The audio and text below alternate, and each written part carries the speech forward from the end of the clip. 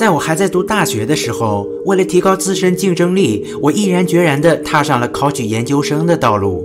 某天，一位同学对我开玩笑地说：“谁都没你厉害，等你考上了，你可就是研究生了。”还记得当时的我回答了这样的一句莫名其妙的话：“我觉得研究死，我可能还比较在行。”没成想，多年以后，可能是命运的安排，这句玩笑话竟一语成谶了。现在的我，果真安逸地坐在椅子上，和大家一同研究和探讨着类似的话题。在上一期节目中，我曾向大家抛出有关灵界中电磁场的问题，而有关这个问题，网友李嘉欣给出了这样的回答：科学所定论的电磁效应，个人认为可以作为灵异活动的依据和参考。此外，我认为有关磁铁的同性相斥、异性相吸原理，同样可以为灵界内以及人世间磁场活动的规律找到依据。而之所以会存在大量灵动现象、对灵体的目击接触以及电磁场干扰，或许并非因为世间的人类异性相吸了灵界的灵体，而更有可能是因为这些灵体同性相斥了附近的人类。出于这个原因，每当人类和灵体间尝试建立深层次的沟通，就会由于不适应性的原因而以失败告终。那么，你是否认同李嘉欣的观点呢？因为我是非常人类。今天我们要来看看三个比非常人类看憨豆先生被吓到失眠还要恐怖的恐怖灵异影片。现在，请屏住你的呼吸，我们开始了。第三个。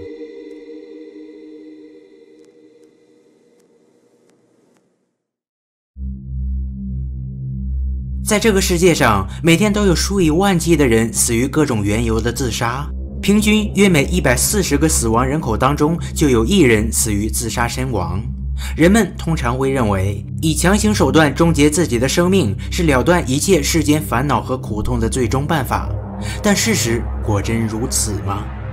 我们可能无法像和仍在世的人们交流一样，同已经辞世的他们建立直接的沟通。但现代科技的产物却为这种看似无法实现的信息对接提供了新的可能性。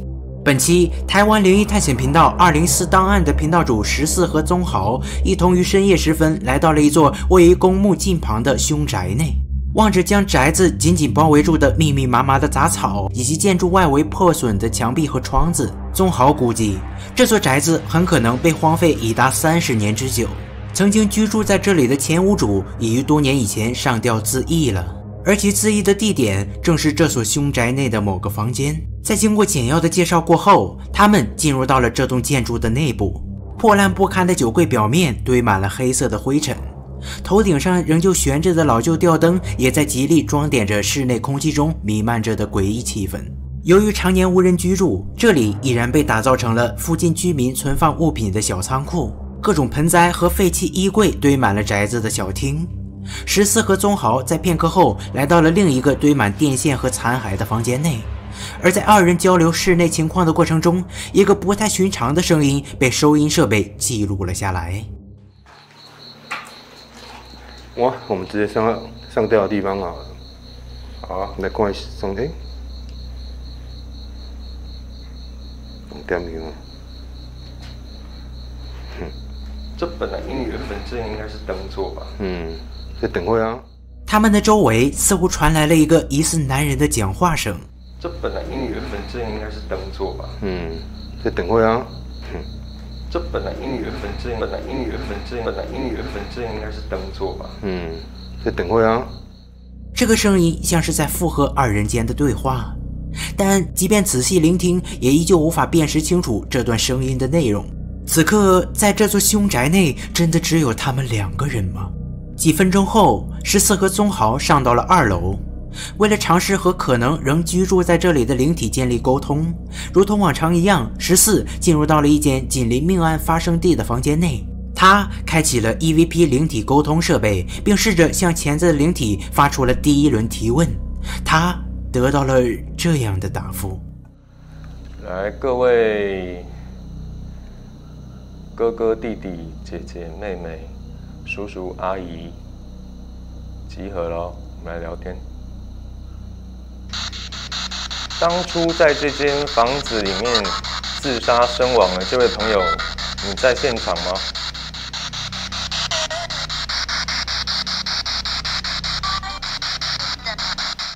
在十四询问当时的自缢者是否正在他的周围时，不知是不是出于巧合的原因，他得到了两个清晰而明确的回应。这两个回应虽然短促明了，但却不带有任何情绪上的倾向性。然而，接下来的这几个答复听起来可就不那么友好了。在这间建筑物自杀的朋友，能告知我是在哪一间房间结束自己的生命的吗？我。你选择在公墓旁边自杀，是不是认为死后比较不孤单？这次虽然十四尽力使用平和而冷静的语气和异世界的不明力量进行沟通的尝试，但却依旧得到了几个冷酷而刻薄的回复。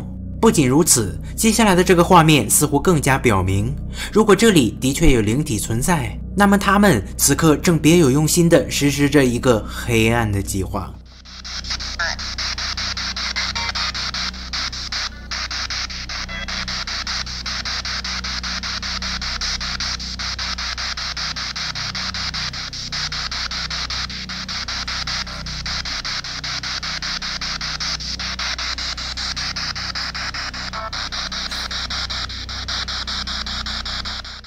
一个黑色的人影从画面左侧缓缓升起，他试探性的靠近着仍在专心聆听 EVP 回应的十四，但仅仅几秒钟后，这个影子却又消失不见了。而在另一段视频画面中，我们同样看到了相似的人影。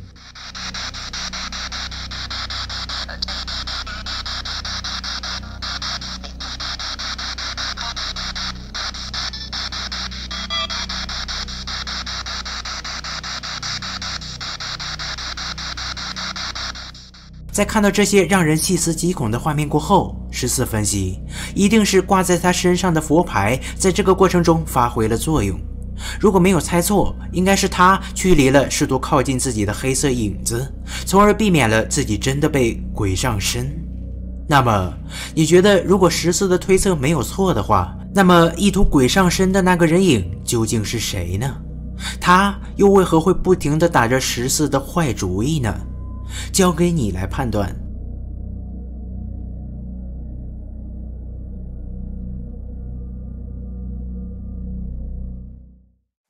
如果你曾经历过超自然事件，或者你觉得有哪些内容可以出现在我的节目中，欢迎将你的视频或链接附上描述，发送至以下邮箱。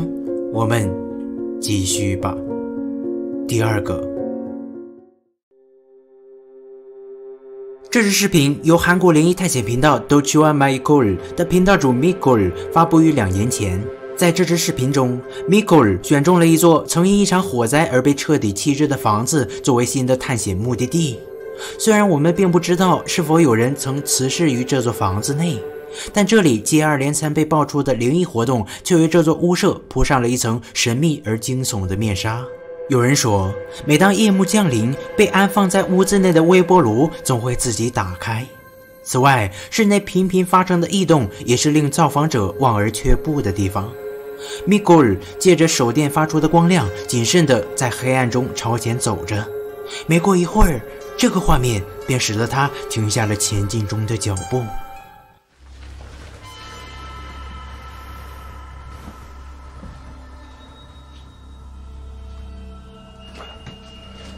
야야야야 하지 마 하지 말라니까 하지 말라니까너걔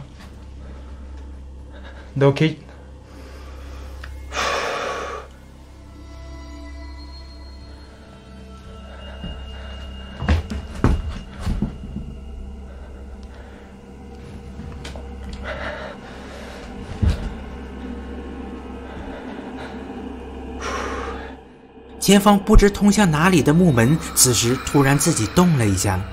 此刻，它开启的程度变得更大了。但这是否会是一个欢迎 Mikol 进入室内的信号呢？Mikol 喘着粗气进入到了前方的房间内，但在这里他却什么都没有发现。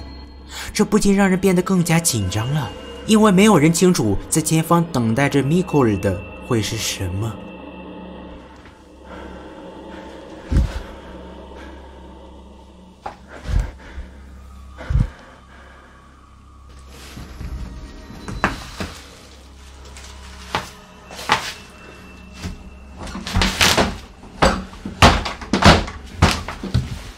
左前方柜子的柜门如同一头发疯的公牛一般，疯狂地来回开合起来。此刻的 Mikol 看起来更像是一个不速之客，他在慌乱中逃离了这个地方。几秒钟后，他再次来到了另一间房间内，但此时，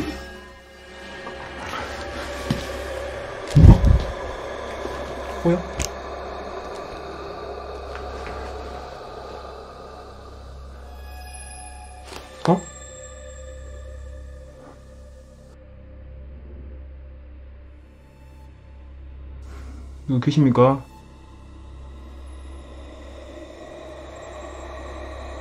누구 계세요?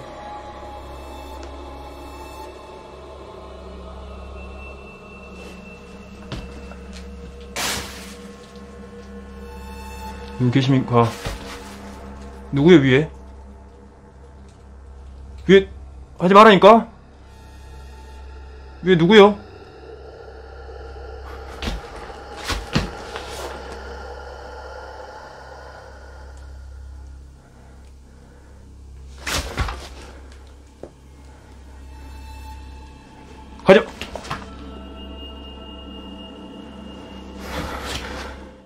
此刻被悬挂着的白炽灯也开始运动了起来，它富有节奏地朝右移动着。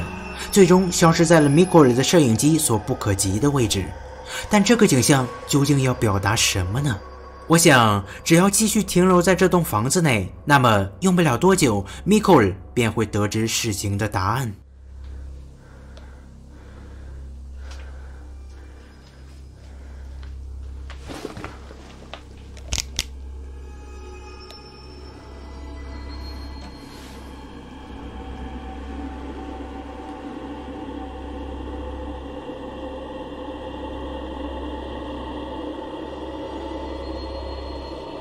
뭐야뭐야뭐야哇！在 Mikol 大气都不敢喘地观察周围的情况时，他猛然听到了一个疑似来自前方钟表的声音。果然没错，几秒钟后，这只钟表上的时针和分针开始高速旋转了起来。看到这里，Mikol 再也无法继续压制内心中的恐惧感，他以一种比钟表指针的飞旋更快的速度飞奔到了室外。 鉴于有直播间内的观众怀疑这只钟表的异动只不过是来自米克尔的恶作剧，为了证实自己真的没有任何在凶宅内捣鬼的性质，他重新回到了刚刚的房间内。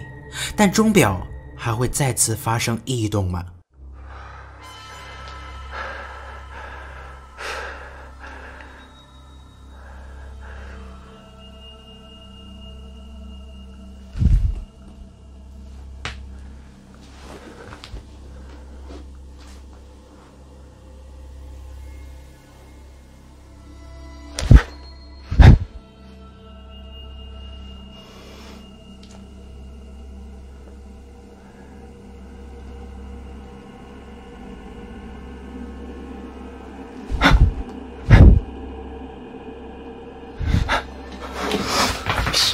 바로 확인해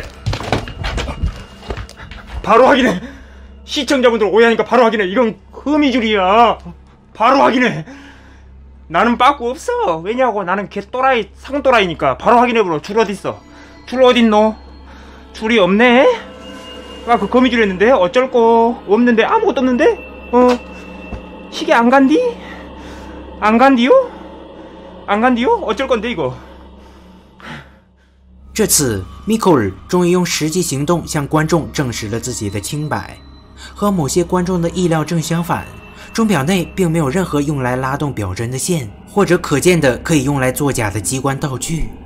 虽然观众的怀疑使得米克尔多少有些气愤，但他并没有让任何负面情绪占据自己的内心。片刻后，他来到了另一个房间内，在这里，他会有怎样的发现呢？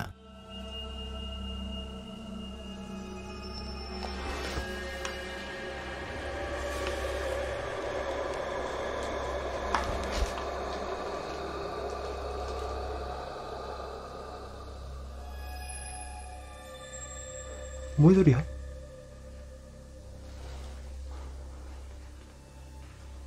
뭐야?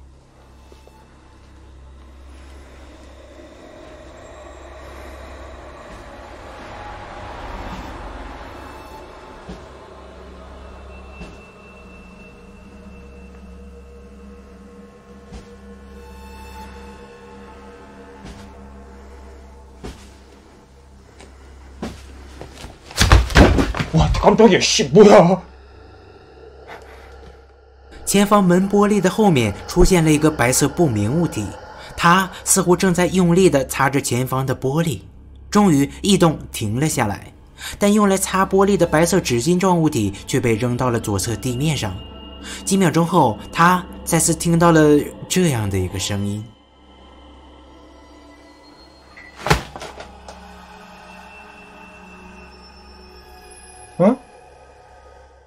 不远处传来了一个电器发出的蜂鸣声。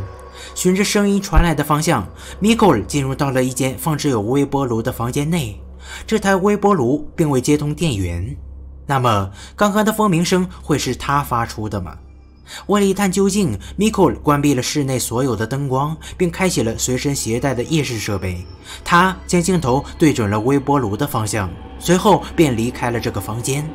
于是，我们看到了这样的一个画面。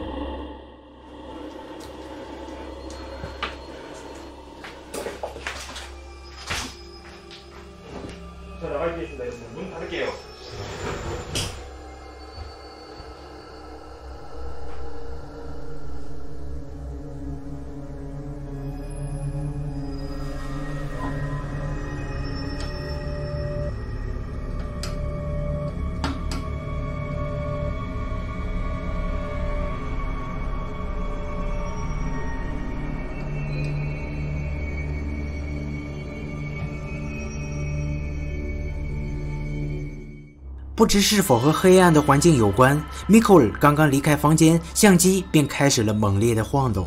如果这并不是一场恶作剧，那么或许真的有什么东西正在把玩着这台相机。几秒钟后，相机的异动越发强烈了。虽然仅在短短的几十分钟内，米克尔便亲睹了大量恐怖的灵异活动，但他依旧觉得，所有这些景象所带来的恐惧感并未超出他的承受范围。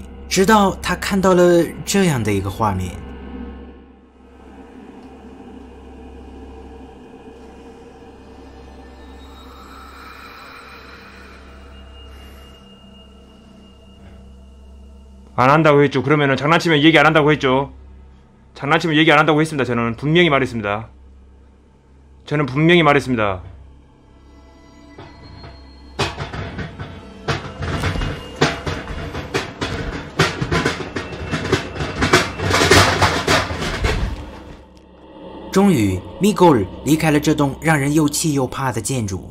那么，你觉得米格尔所经历的一切会是灵体所为吗？说说你的看法。第一个，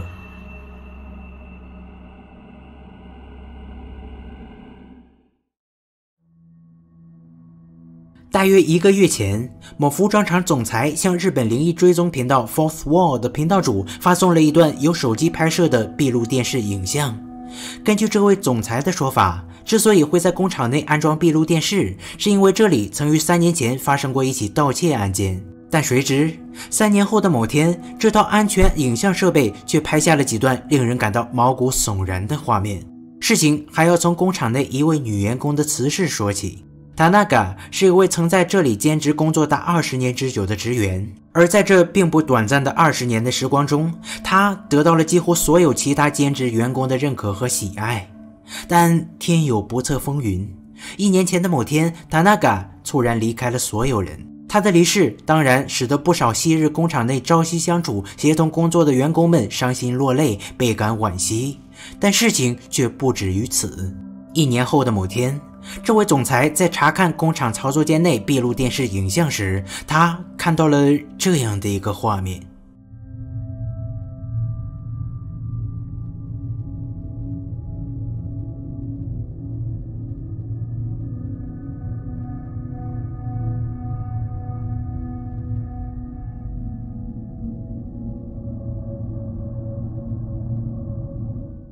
右侧中景处桌子上的缝纫机竟在无人操作的情况下自己运转了起来。